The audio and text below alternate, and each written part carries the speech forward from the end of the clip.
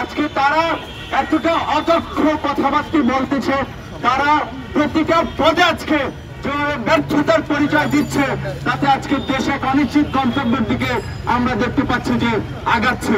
আজকে দেশের জিডিপির কথা বলা হচ্ছে, যখন একই দিকে জিডিপির কথা বলা হচ্ছে, তখন আমরা দেখি যে আমার দেশে প্রায় চার কোটির মতো বেকার জনসংখ্যা রয়েছে। আজকে যখন রেমিটেন্স নিয়ে গর্ব করা হয় তখন আমরা দেখি প্রবাসী শ্রমিক ভাই বোনেরা কি অমানবিক জীবন যাপন করে প্রবাসে ইভেন দেশে ফেরার জন্য তাদের এক প্রকারের আকুতি থাকে নির্যাতিত নিপীড়িত হয়ে তারা আজকে বিদেশ থেকে দেশে ফিরতেছে। কিছুদিন আগে আপনারা পররাষ্ট্রমন্ত্রীর কথা শুনেছেন তিপ্পান্ন জন নারীর লাশ এসেছে তিনি বলেছিলেন এটি নাকি সংখ্যায় খুব নগণ্য খুব বেশি। বলতে চাই আপনাদের কাছে হয়তো নগণ্য কিন্তু এদেশের মানুষের কাছে কিন্তু এটি হচ্ছে তাদের জন্য মেসেজ যে বিদেশে কাজ করতে গিয়ে বাংলাদেশের শ্রমিকরা এভাবে আজকে জীবন দিতে হচ্ছে, এভাবে নির্যাতিত হতে হচ্ছে। আজকে দ্রব্যমূল্যের যে ঊর্ধ্বগতি আজকে কোন রাজনৈতিক দলগুলোকে তো দেখি নাই। রাজপথে নামতে আমরা দেখেছিলাম সেই নব্বইয়ের দশকে তৎকালীন যে ছাত্র সংগঠনগুলো, তারা দেখেছি যখন দ্রব্যমূল্যের যে দাম বাড়ে, তার প্রতিবাদে বিক্ষোভ মিছিল করে কিংবা রাজনৈতিক দলগুলো কর্মসূচি দেয়। কিন্তু আজকে যখন আমরা দেখেছি রাজনৈতিক দলগুলো সেই ব্যর্থতার পরিচয় দিচ্ছে, তারা দেশের মানুষের পাশে, সমাজের মানুষের পাশে দাঁড়াতে ব্যর্থ হচ্ছে, তখন কিন্তু আমরা ছাত্ররা দাঁড়াতে বাধ্য হচ্ছি। আজকে আমরা দেখেছি সেই ত্রিশে ডিসেম্বরের একটি নির্বাচনের মাধ্যমে কীভাবে একটি অকার্যকর সংসদ করে বাংলাদেশের গণতন্ত্রকে কবর দেওয়া হয়েছে। আর আজকে প্রকৃত গণতন্ত্র এবং একটি জবাবদিহিতামূলক সরকার না থাকায় আজকে দেশ দুর্বৃত্তায়নের দুষ্ট চক্রে ঘুরপাক খাচ্ছে। আজকে দেশের এই দুর্বৃত্তায়নের দুষ্ট চক্রের ঘুরপাকে আবদ্ধ হচ্ছে শিক্ষা প্রতিষ্ঠানগুলো। আপনারা দেখেছেন ঢাকা বিশ্ববিদ্যালয়, জাহাঙ্গীরনগর বিশ্ববিদ্যালয় সহ বিভিন্ন বিশ্ববিদ্যালয় ভিসিদের দুর্নীতি, অনিয়ম, স্বজন প্রীতি যে নিয়োগ বাণিজ্য, এইগুলো নিয়ে যখন আন্দোলন হচ্ছে, সেখানে সেই ভিসিদের একদল যে পিটোয়া বাহিনী তারা হামলা চালাচ্ছে, তারা কারা আপনারা নিশ্চয়ই? তাদের কথা আর আপনাদের অজানা কথা নয়। আপনারা দেখেছেন, যখনই শিক্ষার্থীদের যে কোনো একটি যৌক্তিক আন্দোলন সংগ্রাম তৈরি হয়, তখনই ক্ষমতাসীন দলের ছাত্র সংগঠন, ছাত্রলীগ সেখানে হামলা চালায়। গতকালকে রাজশাহী বিশ্ববিদ্যালয়ে একজন শিক্ষার্থীকে মেরে প্রথমে রক্তাক্ত করেছে, তারপরে হাত ভেঙে দিয়েছে, তার কিন্তু বিচার হবে না। কারণ এই দেশে তো বিচার ক্ষমতাসীনদের পকেটে বন্দী এই দেশে সেই বিচার ব্যবস্থা বলেন, আইন ব্যবস্থা বলেন, প্রশাসন ব্যবস্থা বলেন, আদালত বলেন, সবকিছু ওই ত্রিশে ডিসেম্বরের নির্বাচন করে ধ্বংস করে দেওয়া হয়েছে।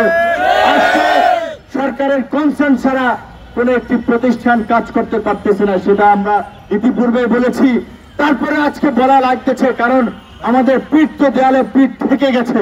আজকে সাধারণ মানুষ যে রাজপথে প্রতিবাদ করবে, সবসময় একটা আতঙ্ক থাকে। এই যে যারা আজকে প্রতিবাদ এসেছে, এরা ছাত্রলীগের আক্রমণ থেকে বেঁচে ঘরে ফিরতে পারবে পারবে কিনা, কিংবা পুলিশের হয়রানি থেকে বাঁচতে পারবে কিনা। আজকে সোশ্যাল মিডিয়াতে প্রধানমন্ত্রীর সমালোচনা করার কারণে অহরহ মানুষকে এই যে নাটকীয় যে ডিজিটাল যে তারা সিকিউরিটি অ্যাক্ট আইন করেছে যে বিরোধী মতের মানুষকে আরেকটি হয়রানি করার যন্ত্র, এই যন্ত্র দিয়ে হয়রা হয়রানি করা যাচ্ছে। প্রধানমন্ত্রী তো দেশের রাজা নন, যে প্রধানমন্ত্রীর সমালোচনা করা যাবে না। প্রধানমন্ত্রী সহ সকল জনপ্রতিনিধিরা এই রাষ্ট্রের চাকর, জনগণের সেবক, জনগণ ভোট দিয়ে তাদেরকে নির্বাচিত করেছে। জনগণ চাইলে টেনে হিসে ক্ষমতা থেকে আবার নামাতে পারবে। অথচ ক্ষমতায় গিয়ে আমরা দেখি যে তারা এক একজন নিজেকে রাজা প্রজা ভাবেন তাদের বিরুদ্ধে কথা বললেই তাদের যে সেই, যে রাষ্ট্রীয় নিয়ন্ত্রিত পিটোয়া বাহিনী, সেই বাহিনী দিয়ে নির্যাতন করায়, তাদের যে নিজস্ব সন্ত্রাসী বাহিনী, সেগুলো দিয়ে নির্যাতন করায়। আজকে কয়টা মানুষ সরকারের এই যে অন্যায় অনিয়মের কথা বলতেছে? ম্যাক্সিমাম মানুষ ম্যানেজড হয়ে গেছে। কেউ টাকা পয়সা দিয়ে ম্যানেজড হয়েছে। কাউকে ব্যবসা বাণিজ্যের লাইসেন্স দিয়ে ম্যানেজ করে রাখা হয়েছে। এইভাবে আজকে বেশিরভাগ সেক্টরের মানুষকে আজকে ম্যানেজ করে রাখা হয়েছে। আজকে এই যে পেঁয়াজ একটা মানুষ হাহাকার যে দ্রব্যমূল্যের ঊর্ধ্বগতির কারণে কয়েকটি গণমাধ্যম এখানে এসেছে। আসবে না।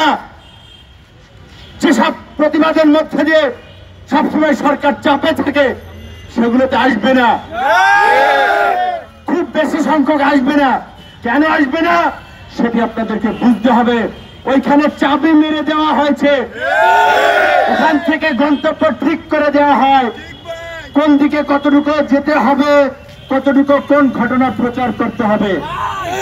আজকে গণতন্ত্রের নামে যে একটি নিয়ন্ত্রিত স্বৈরতন্ত্র চলছে, এটি আপনাদেরকে বুঝতে হবে, বন্ধুগণ।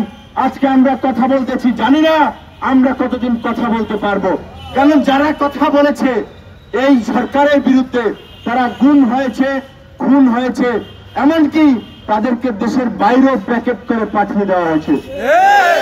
তবে আমরা জানি যে আমাদের জীবনের একটা অনিশ্চিত গন্তব্য রয়েছে এই সরকারের বিরুদ্ধে কথা বলতে গিয়ে। এই সরকারের বিরুদ্ধে কথা বলতে বলতে থাকলে আমাদের বিরুদ্ধে যে কোনো সময় নির্যাতন, নিপীড়ন গুণ খুন আসতে পারে। তবে আমরা প্রস্তুত রয়েছি। আমরা বলেছি যে এই গুটি কয়েক মানুষ আমরা সেই কোটা সংস্কার আন্দোলন থেকে যৌক্তিক আন্দোলন সংগ্রামে ছিলাম এবং ইনশাল্লাহ যতদিন এই সরকারের নির্যাতন, নিপীড়ন এবং এই স্বৈরতন্ত্র চলতে থাকবে, আমাদের এই ছাত্র সমাজের প্রতিবাদ ততদিন চলতে থাকবে।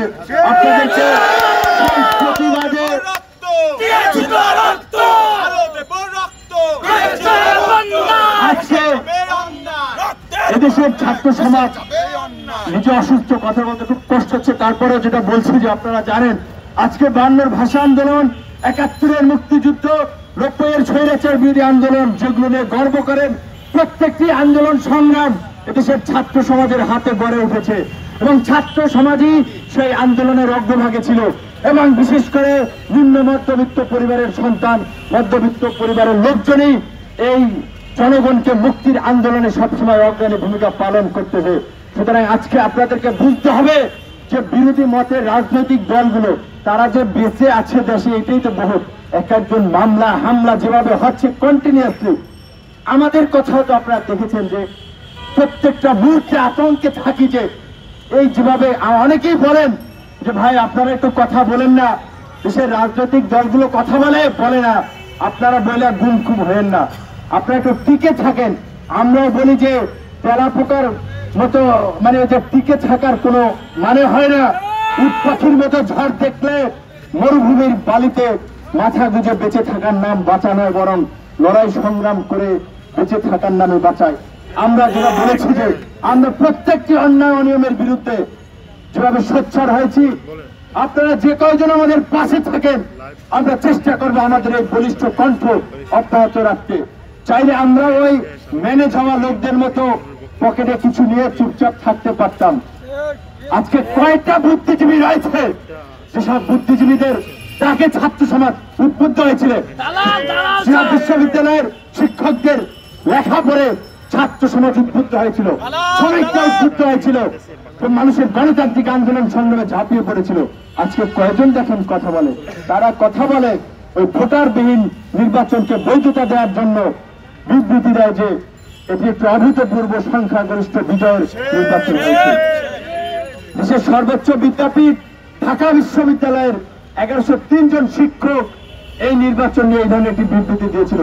যে নির্বাচনের মাধ্যমে এদেশের গণতন্ত্রের কপিলে শেষ প্যারেকটুকু ঢুকিয়ে দেওয়া হয়েছিল। মানুষের ভোটাধিকারকে কেড়ে নেওয়া হয়েছিল। আজকে যারা মুক্তিযুদ্ধের সপক্ষের শক্তি বলেন তারাই আজকে দেশে একটি চরম নৈরাজ্যকর পরিস্থিতি সৃষ্টি করেছেন।